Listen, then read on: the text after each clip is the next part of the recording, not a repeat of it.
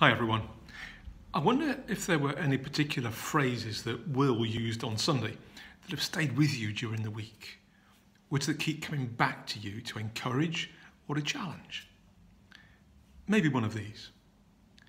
There are people right now who need to hear this message of love, and you are the workers who will bring this message.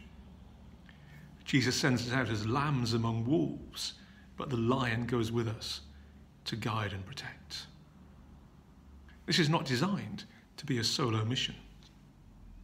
Don't focus on the enemy, focus on the one who brings life and peace. Are we prepared to adapt so we can communicate effectively with those to whom Jesus sends us? What will you do to remove the barriers with those to whom we are sent? Are we open for God to speak to us through our brothers and sisters? How are you responding to what God was saying to you on Sunday? Were you encouraged? Did you gain a deeper appreciation of, of what Jesus is calling you to do? Were you challenged to go outside of your comfort zone to reach others for Jesus?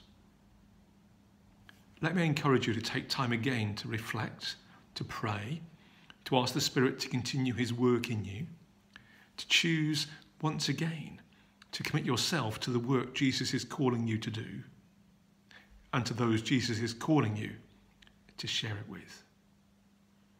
May God bless us as we work together for his kingdom.